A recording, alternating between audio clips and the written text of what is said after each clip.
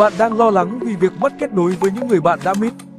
Bạn không có động lực để bấm gọi cho người thân sau những ngày làm việc mệt mỏi. Hãy yên tâm, chúng tôi đã có giải pháp cho bạn. Chào mừng bạn đến với tính năng Low cây côn, giải pháp nâng cấp kết nối người dùng từ ứng dụng Locamode. Hãy bắt đầu hành trình tận hưởng những trải nghiệm thú vị và lợi ích từ Low cây côn mang lại.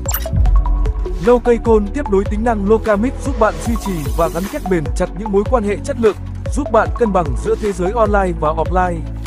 Giờ đây bạn có thể kéo dài kết nối và nhận Loca bonus sau những cuộc gọi video hay thông thường. Với lâu chúng tôi đang định nghĩa lại giá trị của một cuộc gọi.